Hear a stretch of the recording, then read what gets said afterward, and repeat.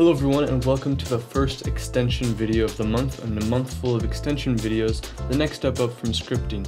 In this quick tip tutorial, I'm going to show you useful CS interface methods, which are methods that are unique to extensions that allow you to access things like the name of the extension, going into scripts, getting the application ID, and many more useful functions. And just a reminder that if you guys happen to use the Brave browser and have any basic attention token, you may now donate as my channel has been verified to receive the tokens. This is just a way to donate if you don't have actual money and you can go ahead and go to any of my videos or my channel page and donate if you want. So let's go ahead and get into the tutorial. I'm going to be using a classic extension testing extension that I built a while ago. The link to that will be in the description. There's also a couple of other videos I've used it in.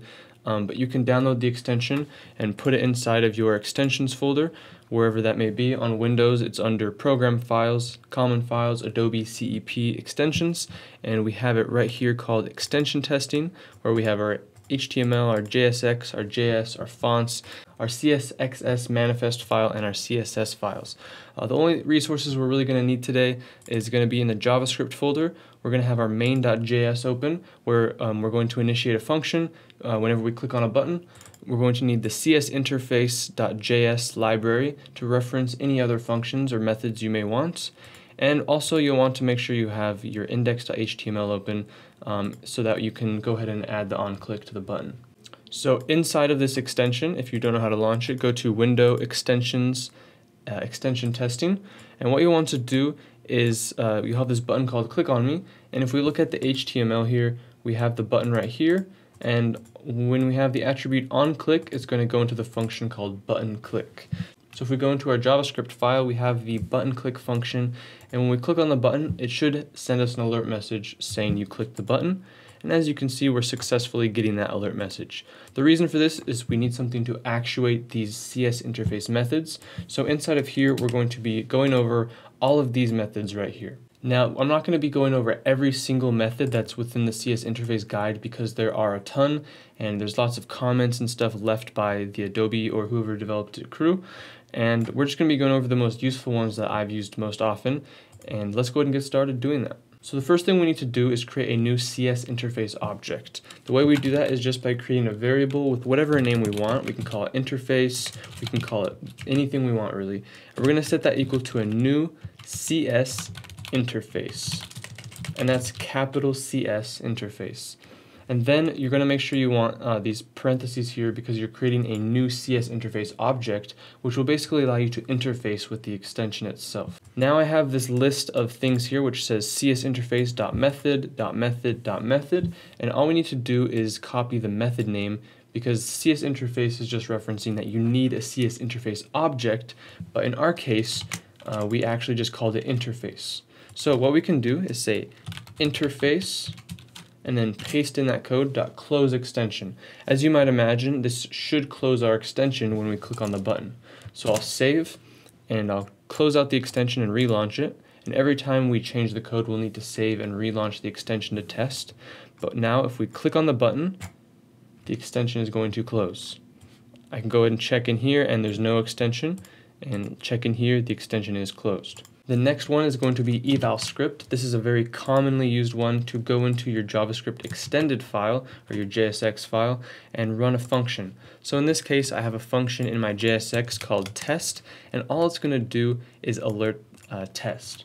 So if I go ahead and call eval script and inside single quotes put in the name of my JavaScript function, it's going to go ahead and go in and alert test hopefully. So we'll go ahead and run our extension again, click on the button, and now we're going to get a script alert saying test. Now the rest of these are strings and other information that's going to be returned.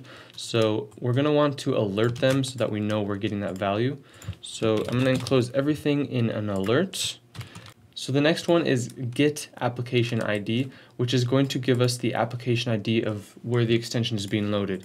In our case, we're just launching this in After Effects, so we're going to get the ID for whatever After Effects is. So when we click on it, we get AEFT, and if we were to run this in a different app, we would get something different. One thing I do want to note is that if you're ever confused about uh, if it takes an argument or maybe you're not getting the value back you think, all you have to do is say copy the method name and go into the csinterface.js file. And when we go ahead and look at it, um, we can find the actual prototype function, which in this case for eval script, it wants a script and, and or a callback. Uh, if we look at, say, get system path, it requires a path type, and this will allow you to go in and actually see what is required if you're having some issues. But most of them don't require um, that complex of arguments or no arguments at all. So the next one we're going to go over is get extensions. This is going to get us a whole list of all of the extensions. So what we're going to do is just uh, create a variable called extension list and set that equal to our interface.getExtensions. And then if I alert the extension list, we should get a whole list of all the extensions we have installed. So if I save it and run it, you can see we get a whole list of objects. Uh, what I could do is maybe grab the first one. You can see we're getting an object. And then from further after that, we have this object. We could maybe go in and check all the properties. So let's go ahead and say uh, extension is equal to the first extension.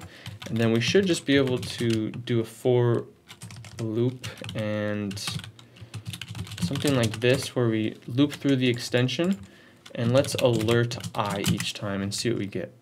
So the first time we're going to get the main path, then the ID, then the name, the width, the window type, and all of these properties that are within our extension. So you can go through and even just look at all the extensions and all of their properties.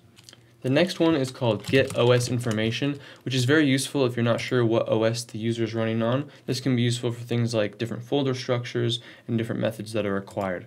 Um, so if we go and run the extension, we're going to get Windows 7 64-bit, and yes, that's true, I am a dinosaur, I refuse to upgrade, but I'll have to eventually.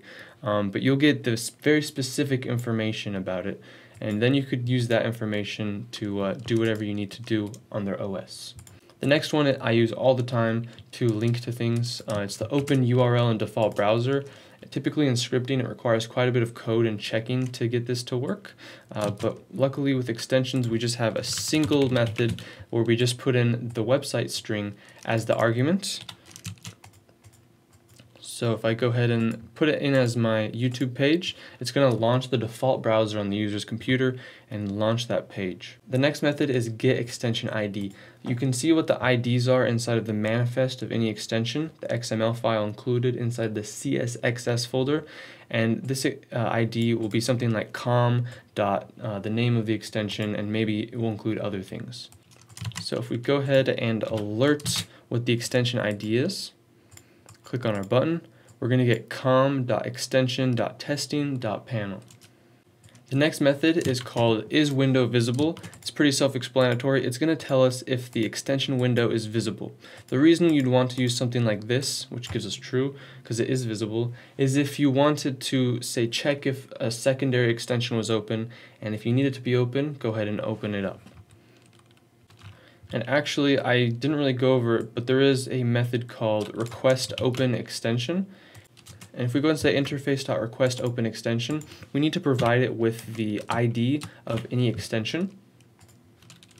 So I could say copy an extension ID, paste it in there. And when I click on the button, it's going to launch whatever the extension is. So this is a great way to launch secondary uh, versions of your extension or other extensions entirely. And the last one we're going to go over is called get window title. It's pretty self-explanatory. It's going to give us the title that is in the uh, dockable part of the extension. So if I go ahead and click on it, you can see it's going to give me extension testing, which is the title of our extension. So that's going to actually do it for this video, guys. I hope you enjoyed. Those are a few of the very useful CS interface methods. You can get a whole list of them inside of any of the csinterface.js files that are included with your extension. And all of this will be very helpful in making your lives a lot easier, making you code less, and getting to the point of your extension a lot quicker. If you guys enjoyed the video, be sure to hit subscribe down below as well as the bell icon to be notified of new videos coming out twice weekly. This month again is all about extensions, that next step up from scripting. It's a little bit more complicated and the full tutorials are going to be pretty long and very informative this month. If you have any questions or comments, be sure to leave them in the comment section down below.